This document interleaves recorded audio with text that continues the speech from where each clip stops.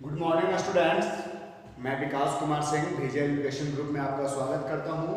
और आज जो है क्लास नाइन के बच्चों के लिए लेके आए हैं कौन सा टॉपिक ट्रायंगल किस क्लास के बच्चों के लिए? नाइन क्लास बच्चों के लिए ज्योमेट्री अगर जो नाइन और टेन को देखा जाए तो दोनों ही क्लास में ज्योमेट्री का बहुत ज़्यादा इंपॉर्टेंस है। उसमें भी बहुत ज़्यादा इंपॉर्टेंस है किसी क्लास में। तो है क्लास नाइन है ना? क्लास नाइन में ज्योमेट्री का बहुत ज़्यादा इंपॉर्टेंस है और अगर क्लास नाइन का आपका ज्योमेट्री अच्छा रहा तो क्लास टेन का भी ज्योमेट्री आपका अच्छा रहेगा। तो क्यों ना हम चलते हैं क्लास नाइन के ज्योमेट्री के कौन से टॉपिक को पढ़ने के लिए? ट्राइंगल तो सबसे पहला चीज़ हमको जानना चाहिए ट्राइंगल का डेफिनेशन कि ट्राइंगल कहते हैं किसको? ट्राइंगल किसको कहते हैं? ये चीज़ को जानते हैं। तो ट्राइंगल किसको कहते हैं? तो ट्राइंगल एक प्लेन फिगर है जैसे प्लेन सतह है ना? तो सतह वाली एक ऐसी फिगर है जो तीन लाइन सेगमेंट एक लाइन सेगमेंट दो लाइन सेगमेंट ये तीन लाइन सेगमेंट से घिरा हुआ रहता है। तो उसको हम लोग क्या बोलते हैं? ट्रायंगल तो आप बोल सकते हो कि a plane figure a plane figure a plane figure a plane figure भी चीज़ भी चीज़ bonded by A plane figure which is bounded by three line segment, three line segments, which is bounded by three line segments. तीन line signal से घिरा हुआ। तो उसको हम लोग क्या बोलते हैं? Is call is call triangle हम लोग उसको क्या बोलते हैं? ट्रायंगल एक ऐसा प्लेन फिगर जो तीन लाइन सेगमेंट से घिरा हुआ। कितना लाइन सेगमेंट से घिरा हुआ? तीन लाइन सेगमेंट से तो उसको हम लोग क्या बोलेंगे? ट्रायंगल है ना? अब ट्रायंगल के चलिए एक और डेफिनेशन चलते हैं। आप लोग जानते होंगे कोलिनियर पॉइंट और नॉन कोलिनियर पॉइंट आपको इस पॉइंट से वास्ता पढ़ा होगा कोलिनियर पॉइंट्स कैसा पॉइंट्स कोलिनियर पॉइंट्स और उसके बाद फिर क्या है? Non collinear points non collinear points तो कोलिनियर पॉइंट और नॉन कोलिनियर पॉइंट्स के बारे में हम लोग जानते हैं। तो कोलिनियर पॉइंट क्या होता है? जब तीन या तीन से अधिक पॉइंट एक स्ट्रेट लाइन में रहता है तो वो सारे पॉइंट्स को हम लोग क्या बोलते हैं? कोलिनियर पॉइंट बोलते हैं। और जब तीन या तीन से अधिक पॉइंट एक स्ट्रेट लाइन में नहीं हो, जैसे एक, दो, तीन पॉइंट है, ये स्ट्रेट लाइन में नहीं है, ये कोलिनियर नहीं, बल्कि नन कोलिनियर पॉइंट है। तो यहाँ पर हम लोग चलते हैं कोलिनियर और नन कोलिनियर पॉइंट की तरफ़। तो अब चलते हैं एक डिफिनेशन और है ट्रायंगल का। जैसे एक और तरीका से हम ट्रायंगल का डिफिनेशन लिख सकते हैं। वो क्या है? तो थोड़ा सा भी गौर से देखिएगा आप लोग तो वो क्या है? दूसरा तरीका जिससे हम ट्रायंगल का डिफिनेशन लिख सकते हैं। तो वो ऐसा है कि when when three when three non collinear points when three non collinear points non collinear points then three non-collinear points meet with meet with each other meet with each other जब तीन non-collinear point को एक दूसरे से मिलाते हैं then formed figure they formed figure जो figure तैयार होगा then formed figure figure is then formed figure is known as then formed figure is known as, जो फिगर बन के तैयार होगा, known as triangle. हम लोग उसको क्या बोलेंगे जी? ट्रायंगल बोलेंगे। चलिए दोनों ही तरीका से चलते हैं। पहले दूसरा ही तरीका से चलते हैं, कहता है तीन नॉन कोलिनियर पॉइंट तो चलिए एक पॉइंट ये ले लिए, जिसका नाम ए दे दिए। एक पॉइंट ये ले लिए, जिसका नाम बी दे दिए। और एक पॉइंट ये ले लिए, जिसका नाम क्या दे दिए? सी ये तीनों ही नॉन कोलिनियर पॉइंट को एक दूसरे से मिलाएँगे। एक दूसरे से मिलाएँगे तो एक फिगर तैयार हुआ और इसी फिगर को हम लोग क्या बोलेंगे? ट्रायंगल क्या बोलेंगे? ट्रायंगल तो when three non collinear point meet with each other then formed figure is known a triangle या दूसरा से नहीं, पहला से चलते पहला डेफिनेशन क्या बोलता है? अब प्लेन फिगर यानी प्लेन सतह वाले फिगर भी चीज़ बाउंडेड हुआ है, जो घिरा हुआ हो, जो ऐसा फिगर जो घिरा हुआ हो बाउंडेड हो, क्या चीज़ से थ्री लाइन सेगमेंट्स तीन लाइन सेगमेंट से एक, दो, ये तीन लाइन सेगमेंट से घिरा हुआ होता है तो उसको हम लोग क्या बोलते हैं? ट्रायंगल उसके बाद चलिए यहाँ पर क्या कहेंगे कि हेयर हेयर ये जो फिगर है फिगर के बारे में बता रहे हैं कि here A B C is a triangle A B C यहाँ पर क्या है जी? एक ट्रायंगल है है ना?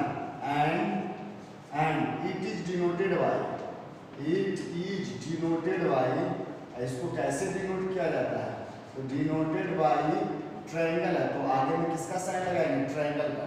ट्रायंगल ए बी सी इसको क्या पढ़ेंगे? ट्राइंगल ए बी सी उसके बाद क्या होता है कि एक ट्राइंगल में कितने साइड्स होते हैं? तो देखिए, एक साइड दो साइड तीन साइड तो यहाँ पर बोल सकते हो कि a triangle a triangle a triangle has three a triangle has three sides three sides उसके बाद एंगल कितने होते हैं? तीन वर्सेस यहाँ पर भी एक एंगल बन रहा है, यहाँ पर भी एक एंगल बन रहा है, यहाँ पर भी एक एंगल बन रहा है। तो एंगल्स कितने होते हैं? तीन। तो triangle has three sides three angles भी लिख सकते हो आप। क्या लिख सकते हो? Three angles three angles and and उसके बाद बोल सकते हैं थ्री वर्टिसेस थ्री वर्टिसेस तीन जगह नुकीला बन रहा है, इसमें वर्टिसेस का तीन होगा।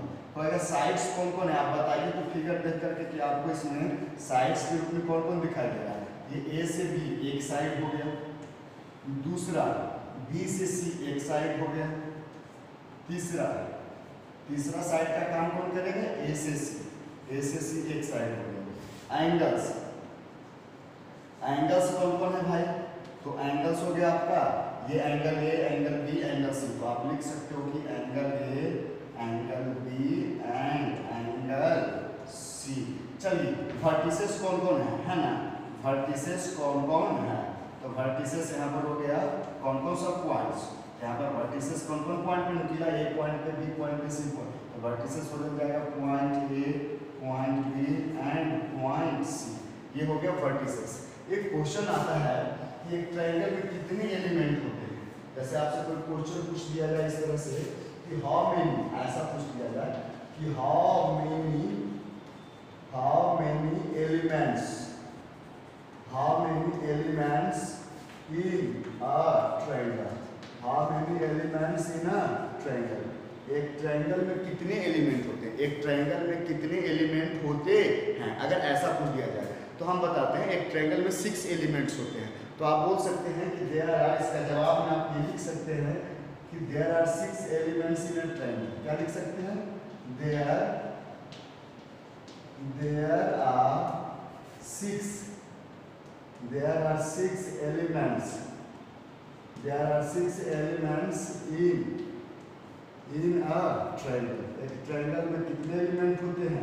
छह।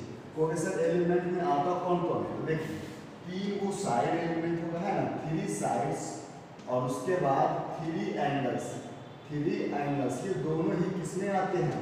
एलिमेंट्स में हो आते हैं। तो अगर जो आपसे कोई पूछेगा कि एक ट्रायंगल में कितने एलिमेंट होते हैं तो आप जवाब दे सकते हो कितना? एक ट्रायंगल में सिक्स एलिमेंट्स होते हैं। कौन कौन? तो तीन साइड्स और तीन एंगल्स तो तीन तीन कितना हो गया? छः यानी एक ट्रायंगल में सिक्स एलिमेंट्स होते हैं। अब चलिए दूसरा।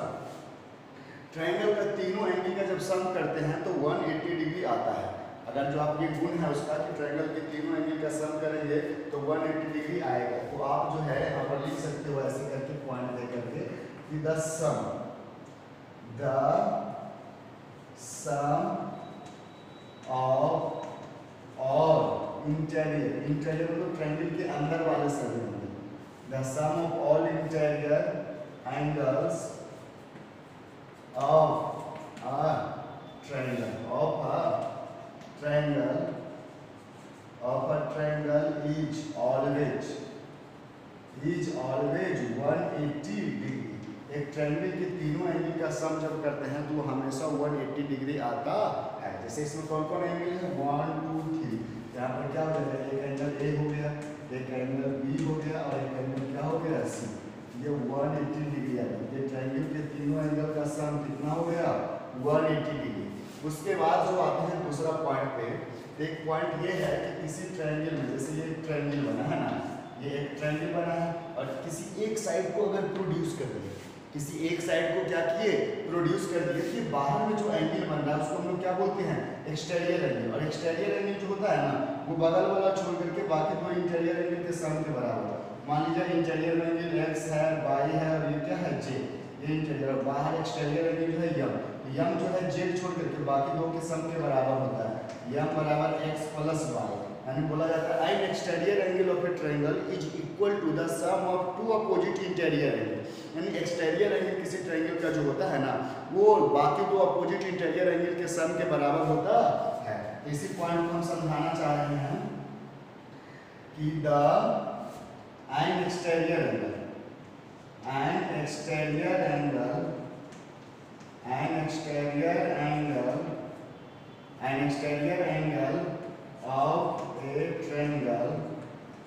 An exterior angle of a triangle. Is equal is equal to the is equal to the sum of two opposite interior angles. Sum of two opposite interior angles. Opposite interior angles. यानी कहना चाह रहा है कि किसी triangle में अगर कोई एक साइड इसमें ट्रायंगल है है ना? ये क्या है? ट्रायंगल है। और कोई एक साइड बढ़ा दे जैसे इस ट्रायंगल का नाम हो जाएगा ए है बी है सी है उसको डी तक बढ़ाया गया। ये एक्सटेरियर एंगल है। Exterior angle A C D जो है बगल वाला छोड़ करके बाकी दो के सम के बराबर होगा। यहाँ पर लिखेंगे हेयर सो यानी दैट मीन्स इसका क्या कहना हुआ? तो एक्सटेरियर एंगल इस फिगर में एक्सटेरियर एंगल का काम कौन कर रहा है? ए C D A C D वो किसके बराबर होगा? ये छोड़ करके बाकी दो एंगल के सम के बराबर होगा। यानी बोले तो किसके बराबर होगा? Angle A plus angle B के बराबर होगा। Angle A plus angle B के बराबर होगा। यानी and exterior angle of a triangle is equal to the sum of opposite to interior angle इन बातों को मैं प्रूव करूँगा। लेकिन अभी ये सभी चीज़ों से इंट्रोड्यूस करा दिए तो आप चाहें तो इसको नोट कर सकते हैं, ताकि जो है आपको बनाने में बहुत ही आसानी हो, जिससे आप आसानी तरीके से बना सकें। अब जो है थोड़ा सा आगे बढ़ते हैं, और इसके अगले व्यू को लेकर चलते हैं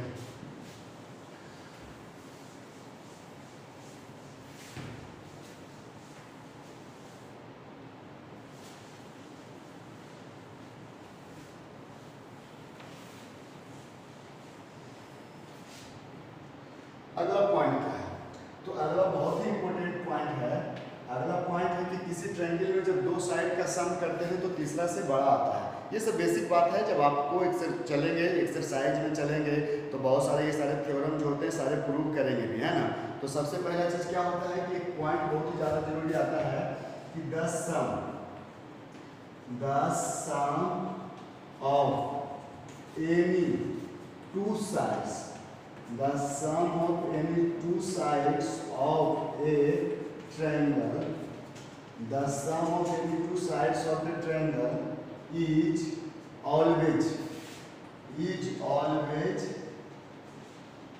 greater than is always greater than its third side is always greater than its third side third side हमेशा तीसरा साइड से बड़ा आता है जैसे कोई ट्रायंगल है देखिए इसका कहना क्या हुआ जैसे ये कोई ट्रायंगल है, और ट्रायंगल में कोई भी दो साइड के लंबाई को जोड़ेंगे तो तीसरा से बड़ा आएगा।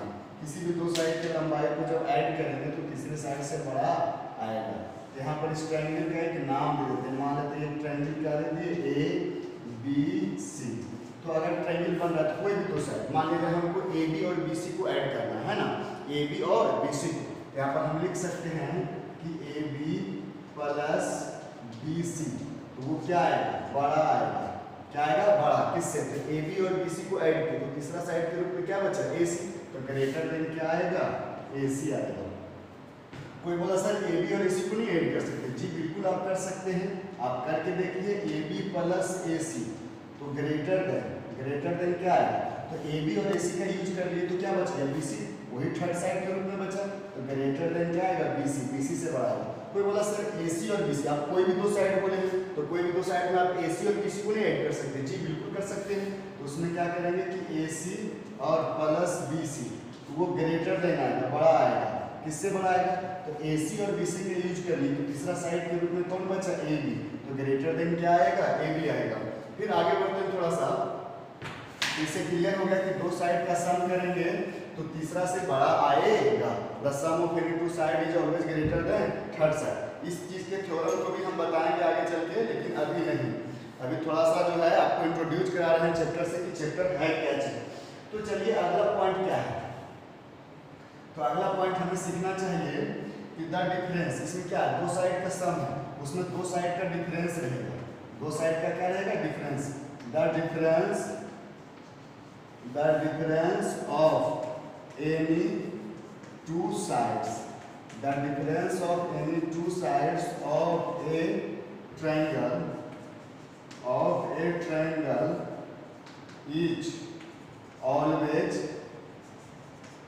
the difference of any two sides of a triangle is always smaller than the third side is always smaller than the third side the third side तीसरे साइड से क्या आएगा छोटा आएगा जैसे अभी सम कर रहे थे तो बड़ा आ रहा था। हम डिफरेंस निकालेंगे तो छोटा, कोई भी ऐसा ट्रायंगल कोई भी ट्रायंगल बनाइए, हमको कोई अंतर पड़ता नहीं। कोई भी ट्रायंगल बनाइएगा उसमें ये रूल ज़रूर काम करेगा।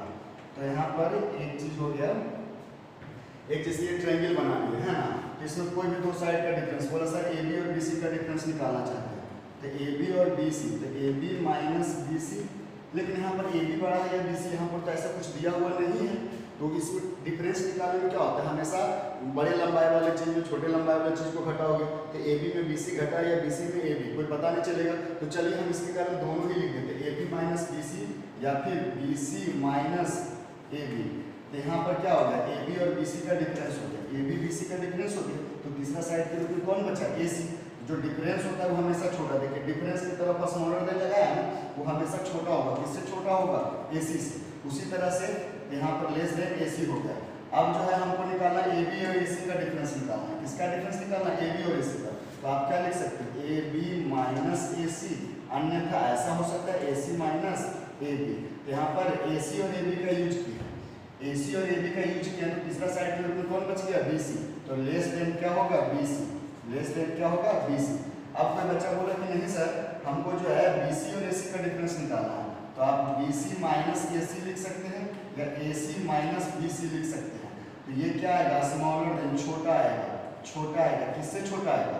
तो बी सी ए सी का यूज़ किया तो तीसरा साइड रूप में कौन बच गया? ए बी ये छोटा आएगा किससे? जी ए बी सी किससे छोटा आएगा? ए बी सी इससे क्या सीखने को मिला कि दो साइड का जब सम करते हैं, दो साइड का जब सम करते हैं तो तीसरा से क्या होता है? बड़ा तो ये वाला। दो साइड का जब सम करते हैं तो थर्ड साइड से बड़ा आता है और दो साइड का डिफरेंस निकालते हैं तो थर्ड से क्या आता है? छोटा आता है। अब आगे की बात को हम लेके चलते हैं।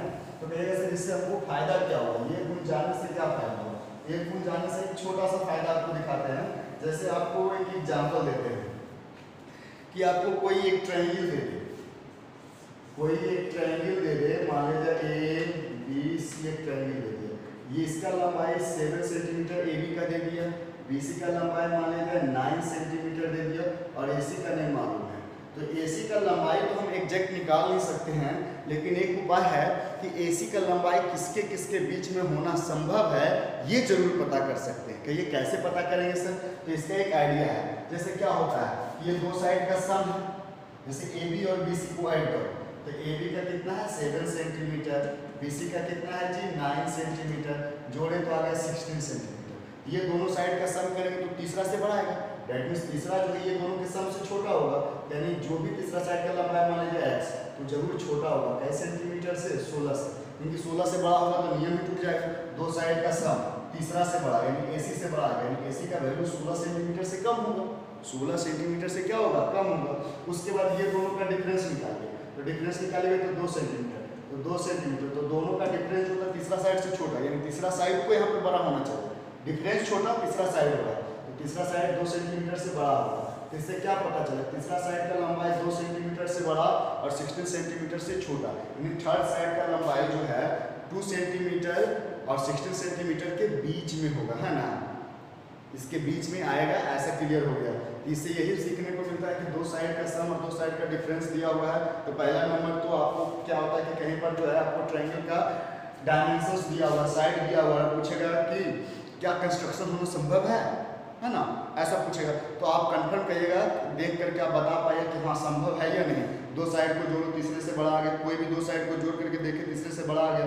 फिर डिफरेंस निकाल करके देखे, तीसरे से छोटा आ गया। तो हाँ पॉसिबल है। अगर ऐसा नियम को तोड़ा, है ना? तो समझो कि ट्रायंगल का बनना संभव ही नहीं है। अब चलते हैं अगला पॉइंट अगला पॉइंट क्या होता है? तो जैसे ये कोई ट्रायंगल बनाए हैं, ये जैसे क्या बना है? ट्रायंगल बना है। तो ये मान लीजिए ट्रायंगल ए है बी है, ये सी है। तो ये कहें कि एंगल ए जो है, इस ट्रायंगल का सबसे बड़ा वाला एंगल है। एंगल ए जो है, सबसे बड़ा वाला एंगल है। तो एंगल ए के सामने वाला साइड कौन है? बी सी तो बी सी इसका सबसे बड़ा साइड होगा बी सबसे छोटा वाला एंगल है तो बीसी का साम बी का एंगल बी के सामने वाला साइड कौन हो? गया एसी तो एसी सबसे छोटा साइड होगा। यानी क्या पता चला कि बड़े एंगल के सामने वाला साइड बड़ा होता है और छोटे एंगल के सामने वाला साइड छोटा होता है। The opposite side of greater angle of a triangle is always longer and the opposite side of a smaller angle of a triangle is always shorter यानी कि बड़े एंगल के सामने वाला साइड सबसे ज़्यादा लंबा होता है और छोटे एंगल के सामने वाला साइड सबसे ज़्यादा छोटा होता है है ना? एंगल बड़ा तो उसके सामने वाला साइड बड़ा एंगल छोटा तो उसके सामने वाला साइड भी छोटा होगा। क्लियर है? तो यही यहाँ पर बताना चाह रहे थे कि अगर यही आपको लिखना जा रहा है कि ट्रायंगल का ये सब गुण है उसका ये प्रॉपर्टी ऐसा रहेगा ज़रूर कि अगर एंगल सबसे बड़ा है तो उसके सामने वाला साइड ज़रूर सबसे बड़ा ही आएगा। तो अगला पॉइंट क्या है? तो अगला पॉइंट यही लिखेंगे the the opposite side opposite side opposite तो क्या होता है सामने वाला side the opposite side of greater angle greater angle of a triangle.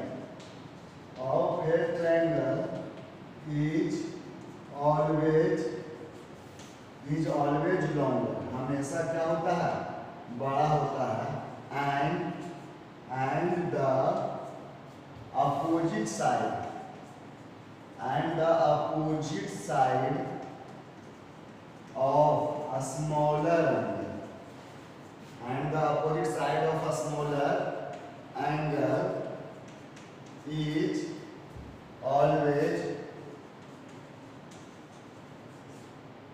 is always shorter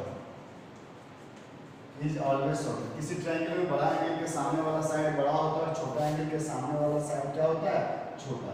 जैसे ये कोई एक ट्रायंगल बनाया है, ये कोई एक क्या बनाया ट्रायंगल बनाया। और इस ट्रायंगल का नाम दे रहे हैं ए बी और सी यहाँ पर मान लिया जाए हम एंगल ए और सी के बीच का तुलना कर रहे हैं। किसके बीच का तुलना कर रहे हैं? ए और सी मैं बोलूँ यहाँ पर कि एंगल ए ऐसा मैं बताऊँ कि सिंस एंगल ए या इफ़ इफ़ अगर ऐसा रहे कि एंगल ए बड़ा हो सी से तो angle A greater than angle C angle A बड़ा है सी से तो ए के सामने वाला साइड कौन है? एंगल ए का ए बी बगल में है ए सी बगल में है. तो एंगल ए का सामने वाला साइड बी सी है. एंगल ए का सामने वाला साइड कौन है? बी सी है. तो एंगल ए बड़ा है तो उसके सामने वाला साइड बड़ा होगा. यानी कहने का मतलब बी सी यहाँ पर जो है बी सी यहाँ पर जो है, वो क्या होगा? बड़ा होगा. छोटा सी तो सी के सामने वाला साइड कौन है? ए बी यहाँ पर ए बी क्या होगा? छोटा होगा। इससे यही पता चला, यानी बड़ा एंगल के सामने वाला साइड बड़ा होता है, और छोटा एंगल के सामने वाला साइड छोटा। क्योंकि नहीं सर हमको ऐसा तुलना नहीं करना था, हमको ए और बी में करना था। एंगल ए और एंगल बी में करना था। किसमें करना था? एंगल ए और एंगल बी में। इफ़ एंगल ए और एंगल बी में करना है, और मैं बोलूँ एंगल ए बड़ा है। एंगल ए बड़ा है तो उसके सामने वाला साइड क्या होगा? बी सी ये बड़ा आएगा। और बी के सामने तो बी के सामने वाला साइड कौन है? ए सी तो ए सी यहाँ पर क्या आएगा? छोटा आएगा इस तरह से आप दो एंगल के बीच किसी ट्रायंगल में अगर दो एंगल के बीच का तुलना करेंगे, है ना? तो बड़ा एंगल के सामने वाला साइड बड़ा होगा, छोटा एंगल के सामने वाला साइड क्या होगा? छोटा होगा। ये ध्यान दीजिएगा, इसका उल्टा। साइड बड़ा रहेगा तो उसके सामने वाला एंगल बड़ा होगा। साइड छोटा रहेगा तो उसके सामने वाला एंगल भी छोटा होगा। ये क्लियर हो रहा होगा? आप लोग को समझ में आ रहा होगा कि कैसे बनता है। तो अब जो है, आगे की ओर बढ़ेंगे। डियर स्टूडेंट्स तो अब जो है, हम आपको बताने में जा रहे हैं, वो है क्लासिफिकेशन ऑफ़ ट्रायंगल ट्रायंगल्स का क्लासिफिकेशन कि ट्रायंगल को क्लासिफाई कैसे किया जाता है?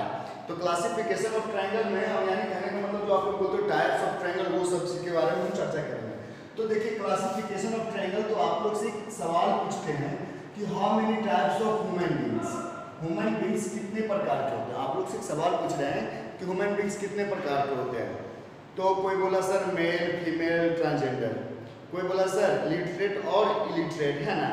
कोई बोला, हिंदू, मुस्लिम, सिख ईसाई ऐसा मेरे को कोई जाति धर्म से लेना देना नहीं है, लेकिन मैं आपको बतलाना चाह रहा हूँ। तो इस बेसिस पे तो देखिए क्या है कि कोई बोला, सर मेल फीमेल और ट्रांसजेंडर वो किस बेसिस पे बोला भाई तो उसका, सबका सही है, लेकिन सबका अपना अपना बोलने का एक तरीका है। तो बोला जो मेल फीमेल और ट्रांसजेंडर वो किस बेसिस पे बोला भाई?